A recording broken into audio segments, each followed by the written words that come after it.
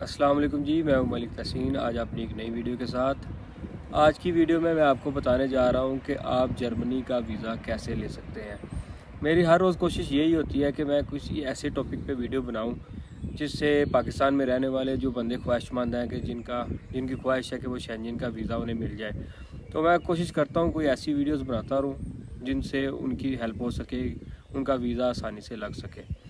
तो हुआ ऐसे है कि मैं इधर पार्क में सैर कर रहा था तो मुझे एक पाकिस्तानी भाई मिले। तो उन्होंने मुझे बताया कि मेरा जर्मनी का वीज़ा लगा था। तो इस तरह बात उनसे मेरी स्टार्ट हो गई, गपशप होती रही। तो उन्होंने मुझे, मैंने उनसे पूछा कि, यार, आपने कौन से डॉक्यूमेंट्स वगैरह दिए, या फिर आप डन बेस पे आए हैं? तो उन्होंने मुझे बताया कि मैं, मेरा खुद का बिज़नेस था। तो उस बिहाफ पे मैंने वीज़ा लिया है। लेकिन मुझे कह रहे थे, पता नहीं था बिल्कुल कि कौन से डॉक्यूमेंट्स होते हैं, क्या तरीकाकार होता है वीज़ा अप्लाई करने का।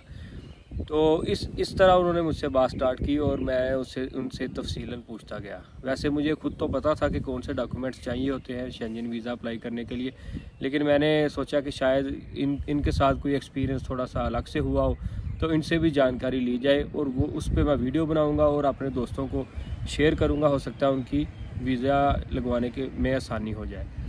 तो उन्होंने बात स्टार्ट की तो मुझे बताते गए। उन्होंने कहा कि मेरा जनरल स्टोर का काम था उधर, और वो भाई थे हैदराबाद से, कराची के पास जो हैदराबाद है, वहाँ के थे। तो उनका जनरल स्टोर का काम अच्छा था, लेकिन 2021 के बाद बता रहे थे कि काम में वैसी तेज़ी नहीं रही, और पैसे तो उन्हें बच रहे थे, लेकिन उन्होंने कहा कि उन्होंने अपना फ्यूचर सिक्योर करने के लिए सोचा कि अब मज़ीद मुझे इस कंट्री में नहीं रहना, मैं शेंजन की तरफ़ यूरोप की तरफ़ जाता हूँ। और हो सकता है कि मेरे लिए कुछ ज़्यादा बेहतरी हो। तो इस तरह उन्होंने फ़ैसला किया। उन्होंने अपने काम करवाने के लिए एजेंटों की मदद लेना शुरू कर दी।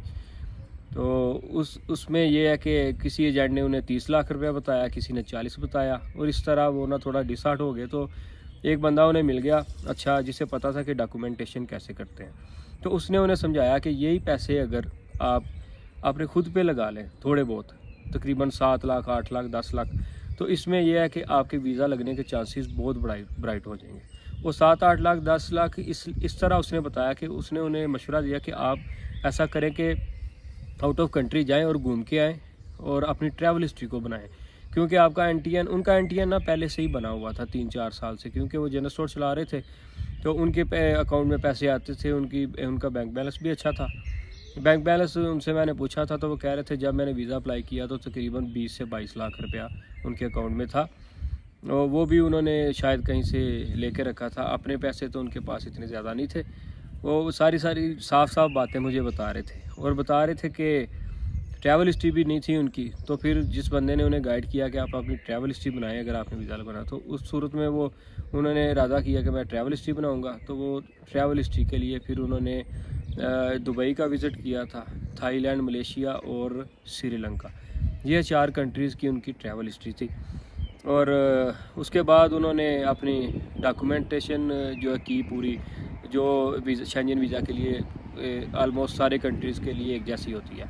तो जिस कंसल्टेंट के पास गए, वो उन्हें जर्मनी के अपॉइंटमेंट लेने में कामयाब हुआ। सबसे पहले मतलब उनकी कोई ऐसी डिमांड नहीं थी कंसल्टेंट से कि मैंने फ़लाँ मुल्क जाना। उन्होंने कहा, था, बस मुझे यूरोप और शेंजन में पहुँचा दो। तो जिस कंसल्टेंट से उन्होंने रबता किया, उसने उन्हें जर्मनी की अपॉइंटमेंट ढूंढ के दी। और आपको पता है कंसल्टेंट की फ़ीस को ज़्यादा नहीं होती। सारा काम वो पचास हज़ार, साठ हज़ार, जहाँ आपकी बात बने, इन इतने पैसों में वो कर देते हैं। तो जर्मनी की अपॉइंटमेंट उन्हें मिली। उनके पास जो डॉक्यूमेंट्स थे, मैंने उनसे पूछा कि आपने हालाँकि मैंने भी फ्रांस का वीज़ा लिया था जब मैं इधर आया था।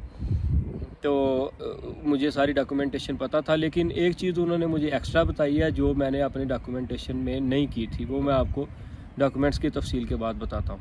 डॉक्यूमेंट्स में उन्होंने पहले विज़िट किए तो उस उन वीज़ा की फ़ोटो कापीज़ और अपने पासपोर्ट की अपना जो पासपोर्ट फ़ोटो कापी पासपोर्ट उनका, आपका जो है ना छः महीने से कम नहीं होना चाहिए। इसकी वैलिडिटी ज़्यादा होनी चाहिए।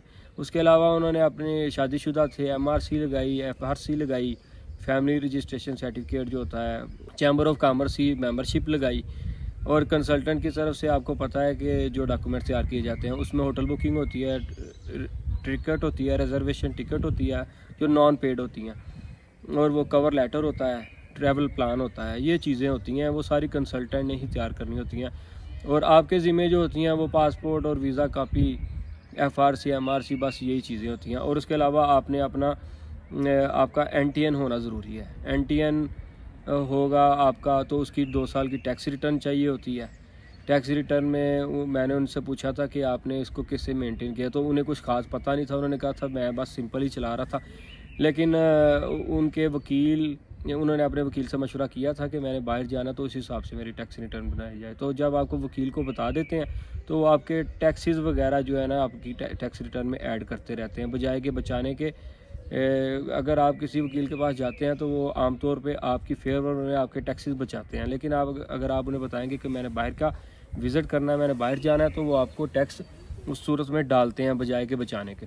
तो इस तरह उनकी टैक्स रिटर्न भी तैयार हो गई।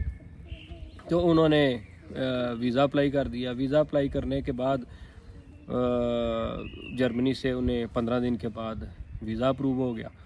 तो वो खुद हैरान हो गए और मुझे कह रहे थे कि मैं तो उस बंदे को दुआएँ देता रहा कि जिसने कहा था कि, यार, एजेंट को पैसे देने की बजाय आप अपने खुद पे पैसे लगाएँ। तो इस तरह उन्होंने ये काम किया तो उनका वीज़ा लग गया, कामयाब हो गए।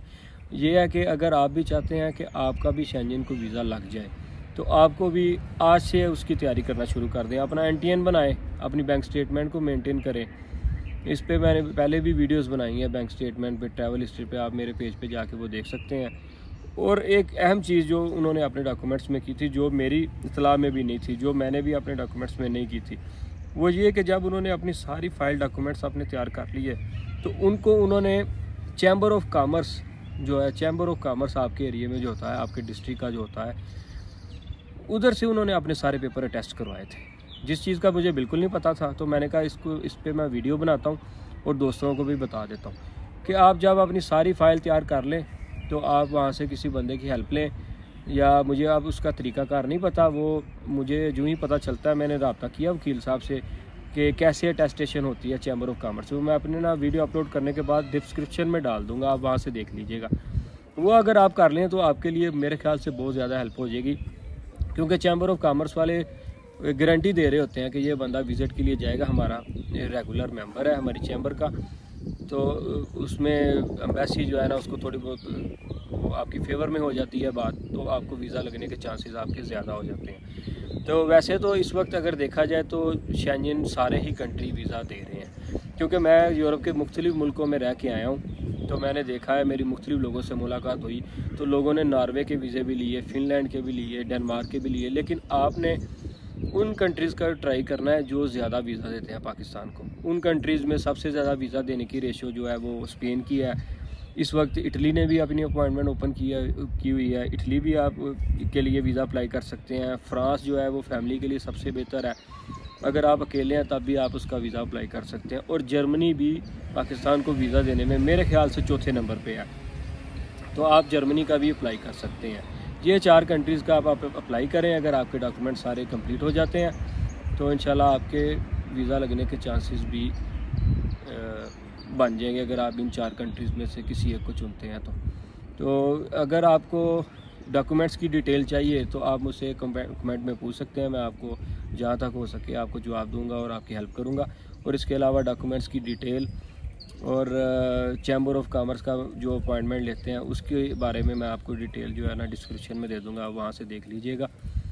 तो ये थी मेरी आज की वीडियो तो अगर आपको मेरी आज की वीडियो पसंद आई हो तो उसको लाइक शेयर कर दीजिएगा और चैनल को सब्सक्राइब कर दीजिएगा। इन मिलते हैं नेक्स्ट वीडियो में। अल्लाह हाफिज़।